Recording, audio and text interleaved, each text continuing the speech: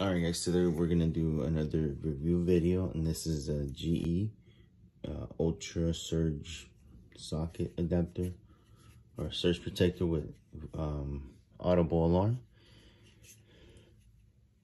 If you have a lot of power outages like we do in Vegas or maybe not a lot of power outages, but at the other business where I work, um, we do lose a lot of power actually, uh, especially right now with monsoon season.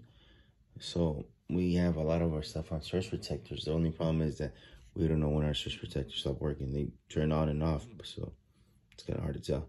So the reason we got these is because it has an alarm. So connect it regularly to the socket wall like a regular surge protector. You put the device on here.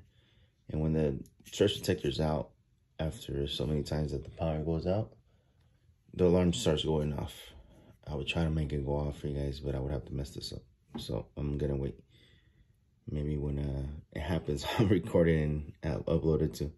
But yeah, we got this just, just to save money because several things have gone out when the power goes out. Um, so it'll be working TVs, computers. And when the power goes out and it comes back on, that's when the device gets messed up. And at least with these, you, you could tell the, the power went out. This thing's not working anymore because the alarm goes off. And you can replace it ahead of time. But yeah, guys, this is this is a GE product. Let's see if you can see it. Focus on it.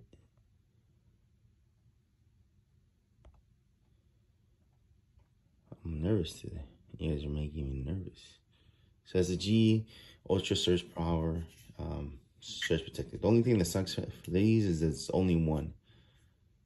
Um, I think they have other options but it has more than one, but the ones we got were just one. I'll provide a link in the description, guys, so you could you know, get ahead of the game and order before you lose a TV or something. All right, guys.